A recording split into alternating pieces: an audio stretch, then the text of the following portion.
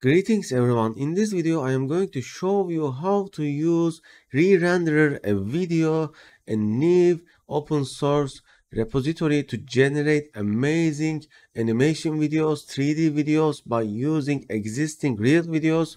If you don't know what is it, let me show you. For example, I have converted this Larry Wheels clip into this animation clip with just one click. So I will show you how to turn your real videos into animation or 3D on Runpod with one-click installer. All you need to do is download this installer.sh file, open your Runpod from this link. If you don't have a Runpod, sign up or login if you have. Let's login. Then go to Community Cloud, select Extreme Speed from here. You can use higher VRAM having machines with higher batch size However, for this tutorial I will use RTX 3090 which is one of my best GPU selection. From here type fast and select Runpod fast stable diffusion template. Click continue deploy. Go to my ports, Wait until connect button appears here. Okay, connect button appeared. Click connect. Connect to the Jupyter Lab. Once the interface has opened, click this icon upload the installer.sh file, then all you need to do is start a new terminal by clicking here and use these two commands.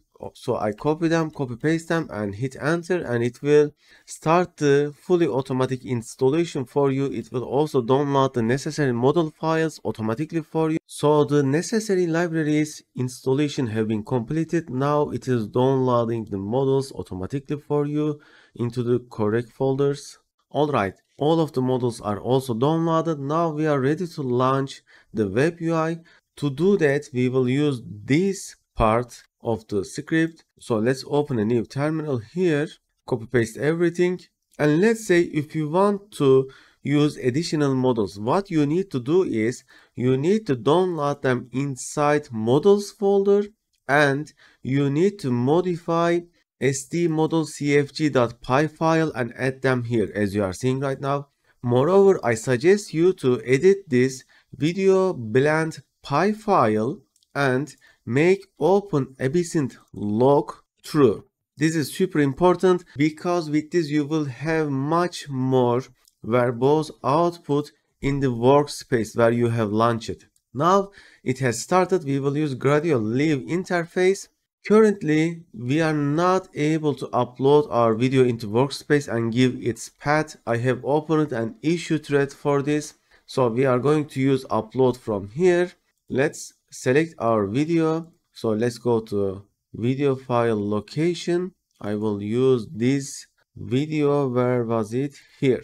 So this is the video. First of all you need to define your scene very carefully if your scene has multiple different scenarios then you should split them because your prompt should be able to define your scene as much as possible. In this scene, a bodybuilder is posing in a gym. So a muscular man is posing in a gym. Then there are several settings. Default settings are really good, but if your video is HD, I suggest you to make this 704. Then I suggest you to change this to Canny, make Canny low threshold 25 high threshold 50 moreover your base model will have huge effect. So you i suggest you to use flat 2d animerge you can also try different models. This is an anime model. And most importantly according to your resolution you need to reduce this number of parallel processes for 24 gigabyte. And this resolution 2 is the maximum that you should set. If you go higher resolution make this 1 if you go lower resolution and according to your VRAM you can increase this. This will significantly affect your processing time so it is super important. And before clicking run all make sure that your first keyframe is what you are looking for.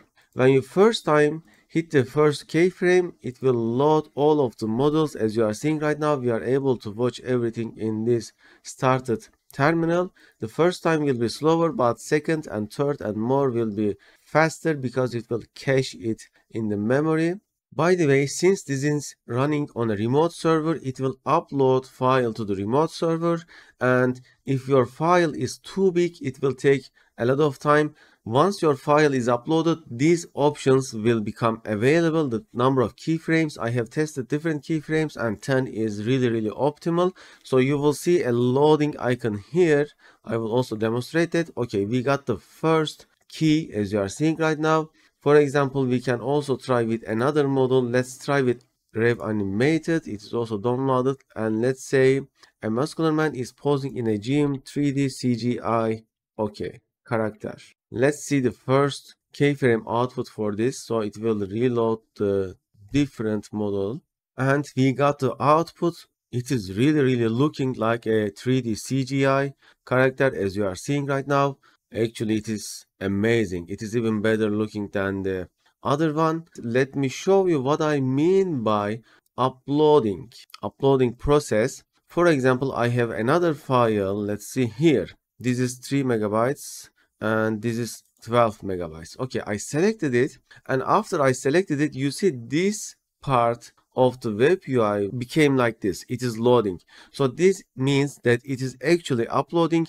You need to wait here become available. Once it becomes available, it means that the file is uploaded. I can also see the upload process here and it is uploaded. Very nice. So it was fast. Now I can click run first keyframe and it will make this a first keyframe. Let's see also that one and we got the first keyframe so we can run all and process it all so it is also looking like a CGI character and let's return back to our previous one and now it will re-upload every time it re-uploads unfortunately I opened an issue for this maybe it will get fixed in the future versions so where will be the output file? The output video will be here once it is completed, but let's say the Gradio app lost its connection. So you will find the file inside render a video folder inside results. You will see the file name, the video file name having folder here. So it will be inside there. For example, the for the posing video, we will have a blend.mp4 file here. Okay let's see. The file is uploaded. Let's click first keyframe. Okay now i am ready to process all. Before doing that i will make sure that the number of parallel processes are two and run all and that's it now i need to wait it to process all of the keyframes and everything and the result will be inside this folder. We can also see the keyframes here in a moment. Now it generated the 11th frame. Yes, now we can see it. Okay, it started generating the keys. So it is working. And as I said, the final video will be here. Then we can download. I also have added how to merge the output video with its sound. Unfortunately, it is not keeping the sound. Moreover, if your video FPS is like this, you may want to convert it to closest FPS with FFmpeg. Thank you very much for supporting me on Patreon. Hopefully I will make a public tutorial, step-by-step -step tutorial for my non-Patreon supporter subscribers as well. See you later.